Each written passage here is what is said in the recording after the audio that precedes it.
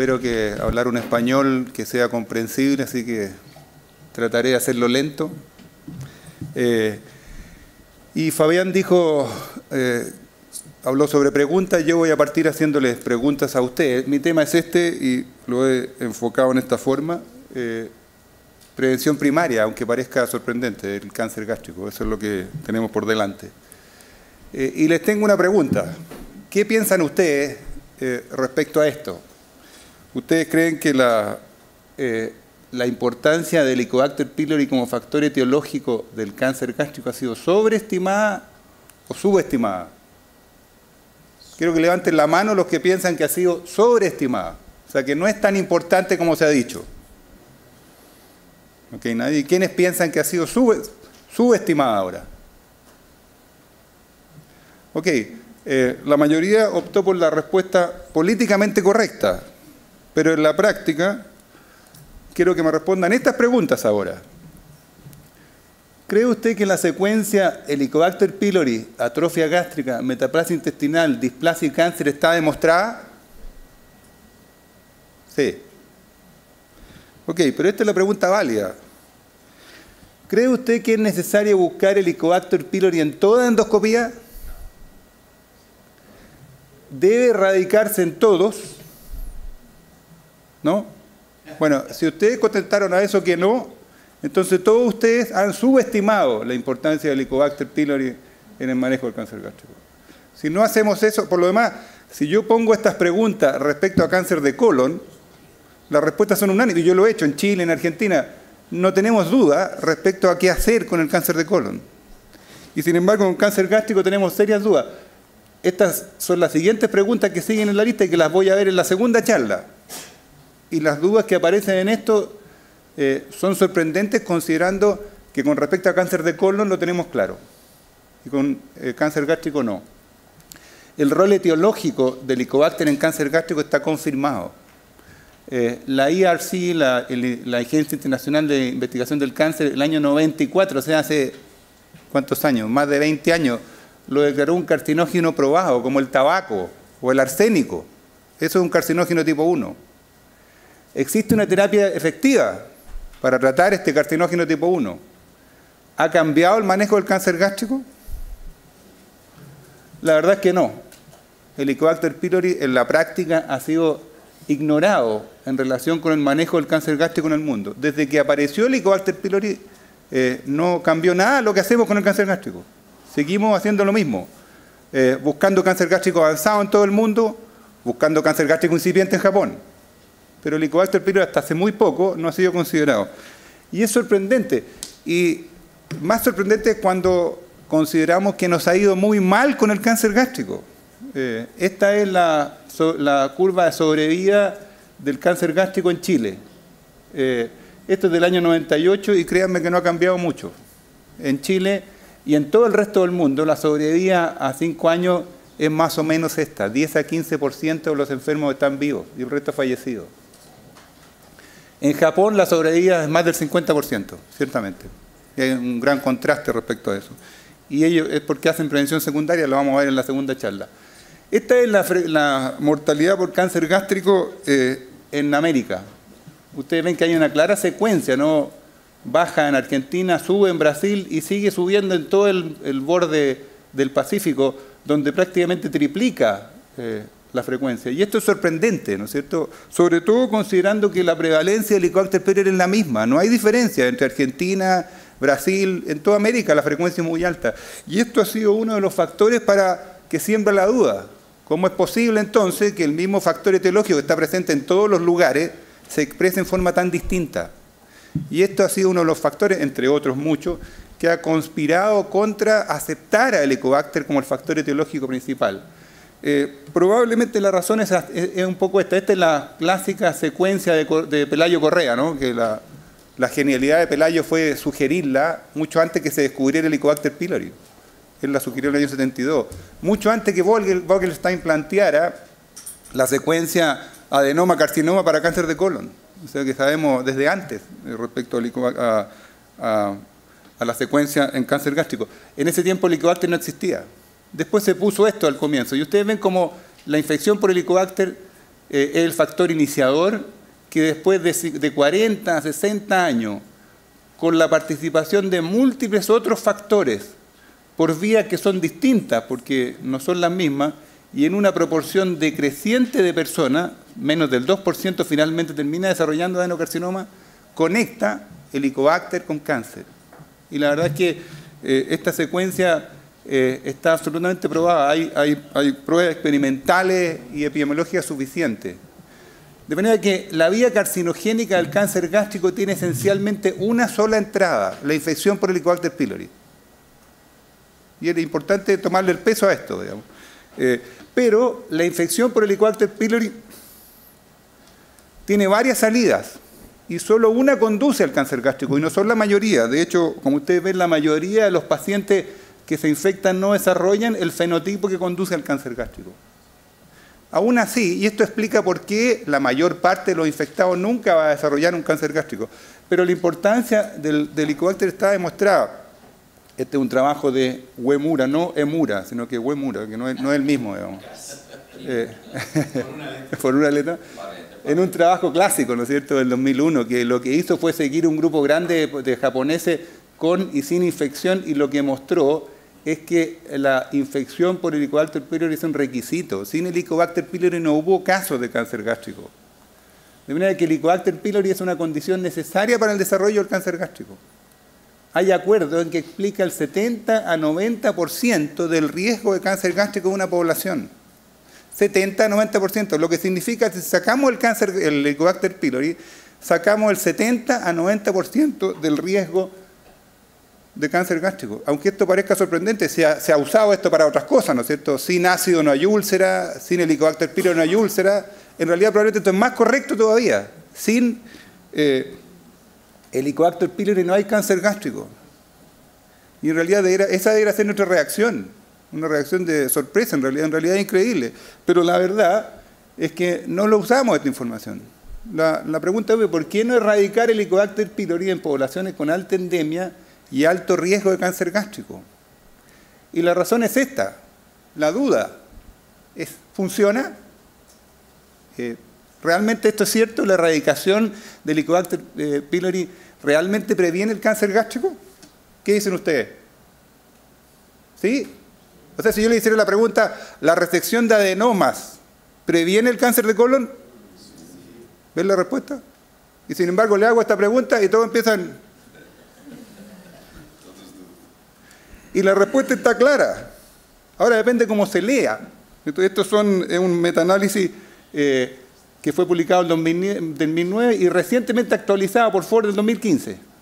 Estos son los estudios más importantes y de mejor calidad que compararon o han comparado la, efectividad de la erradicación del Helicobacter pylori con respecto a la prevención de cáncer gástrico, a disminuir la incidencia. Y la respuesta parece obvia. Ustedes ven, ninguno de los estudios demostró significación. Ninguno de ellos. Pero el metaanálisis sí. Ustedes ven que el metaanálisis lo que hizo fue demostrar que el riesgo disminuye a un 65% cuando yo erradico el Helicobacter comparado con no hacerlo. ¿Le gusta ese número, no? No mucho, ¿no es cierto? Uno dice 65%, o sea, solo disminuye un 45%. No es muy entusiasmante, parece, ¿no? Pero les quiero poner aquí lo que hace la polipectomía en el cáncer de colon. Miren, este es un trabajo del 2013 con más de 80.000 pacientes, probablemente el trabajo más importante publicado respecto a la capacidad de la eh, colonoscopía para prevenir cáncer de colon. ¿Les parece conocido este número? Es el mismo.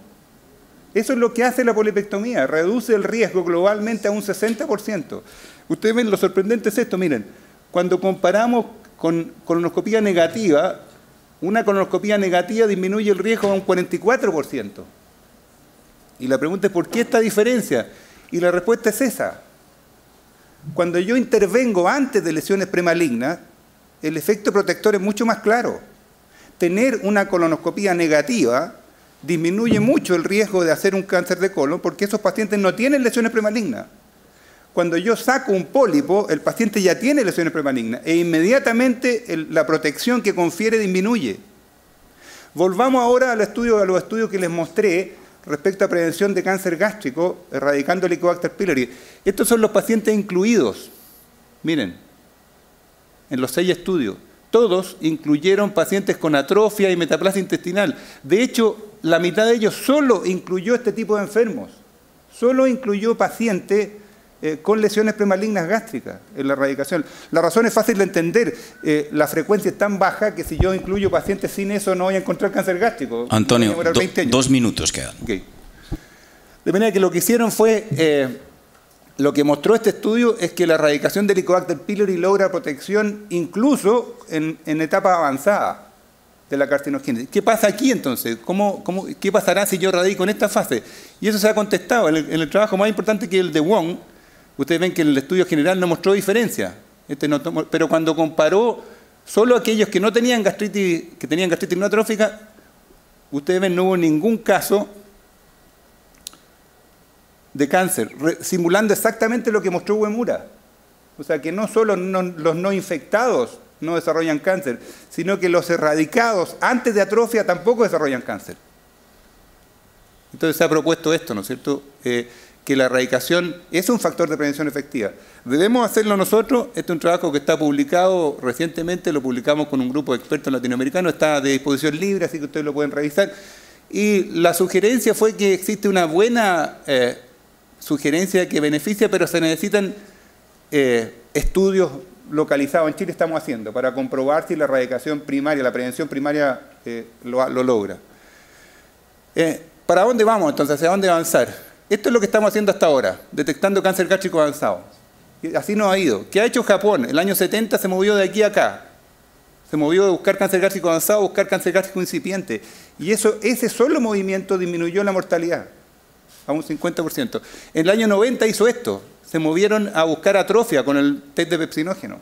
Y el año 2013 lo que ha hecho Japón es esto. Lo que ha hecho Japón es hacer prevención primaria. En eso están empeñados y están empeñados en terminar con el cáncer gástrico para el 2050. Y probablemente lo van a lograr. Y nosotros estamos siguiendo la senda de los japoneses. La pregunta es, ¿qué tenemos que imitar? ¿Lo que hizo Japón en el año 70? Eso es lo que estamos haciendo, ¿no es cierto? Lo que queremos hacer. O lo que hizo Japón o está haciendo ahora. Pero en realidad la prevención poblacional no la hacemos nosotros, la hacen los gobiernos y en Chile, en ninguna parte de Latinoamérica hay. ¿Qué hacemos nosotros? Nosotros hacemos esta mensaje oportunista. ¿Qué debiéramos hacer? Esto, ¿no es cierto? Es indispensable. A esto me voy a referir en la segunda charla, pero esto es inevitable. Eh, si no erradicamos el Helicobacter pylori en todos los que hacemos endoscopía, estamos eh, abandonando la posibilidad de hacer prevención primaria, cosa que ahora es posible. Y esto es lo que se sugiere en este en este protocolo que también está disponible, está libre en la web, ¿no es cierto? Detectar y erradicar el Helicobacter pylori en todos los pacientes sometidos a endoscopía. Hay evidencia tipo 1 para lograrlo.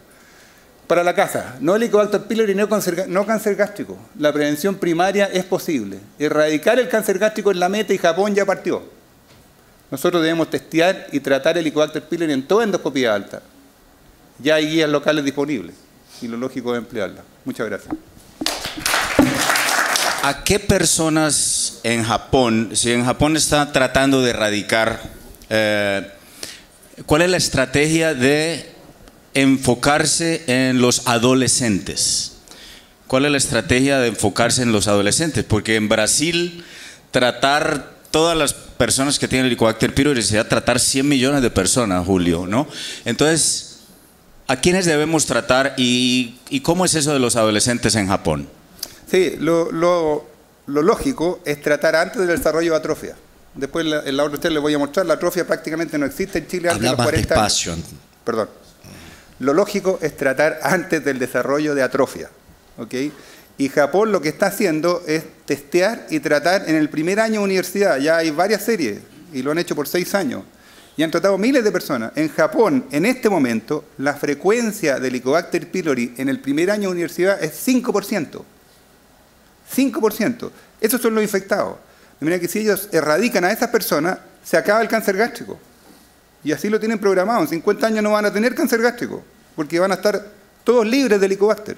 En Japón ha bajado muchísimo la frecuencia. Tú tienes razón, en nuestros países la frecuencia es mucho mayor. Ramiro, só um, com... Não, um até para traduzir bem para popular, para as pessoas entenderem. O que ele quer dizer com isso? Que o ideal é tratar o Helicobacter antes do desenvolvimento de atrofia gástrica. Porque no momento que surgir a atrofia gástrica, embora a erradicação do Helicobacter diminua a frequência de câncer, ela não elimina a frequência de câncer. Então, o ideal é surgir, tratar antes do surgimento disso. Então, qual é a estratégia que o Japão está fazendo? Testar com exame de sangue pessoas adolescentes entre 15 e 20 anos corrigime se estou equivocado, e tratar nessa população. Porque lá, no Japão, 70, 80% da população de Helicobacter pylori do Japão é KGA positivo. No Brasil, isso é 30%. Então, o que seria a estratégia ideal para o Brasil para imitar o Japão? Seria ter um teste de exame de sangue, que eu não sei se existe, tá? Eh, existe esse teste de exame de sangue para Helicobacter geral, que detecte o Helicobacter KGA. E aí sim tratar essa população KGA aos 15, 20 anos. Isso seria o ideal de estratégia, acredito, na América Latina. Entendiste o que disse? Doutor Ramiro, por favor. Você poderia comentar a respeito da vacina? Tem vários estudos mostrando a possibilidade da vacina para o H. pylori. Ah. Vacina. Sí, la vacuna es el premio gordo, ciertamente. Si tuviéramos vacuna, no estaríamos ni siquiera conversando esto, digamos, estaríamos vacunando. No hay. Eh, y a pesar de que hay avance, todavía que yo sepa no está ni cerca de estar disponible para uso clínico, pero ciertamente sería una gran, un gran avance. Caga en Chile, el 80% de, de nuestras cepas son caga positivas.